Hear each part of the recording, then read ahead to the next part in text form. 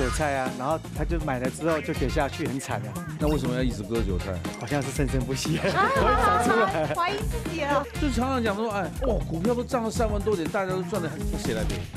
韭菜们，一定有人赔，你才有的赚。永远都有韭菜，对，是这个意思。因为他也认为他他是长的，他不是韭菜。突然有一天困在上面，他才发现哦，原来我是韭菜。TVBS 欢乐台四十二频道，周一到周五晚间八点，拜托 ATM。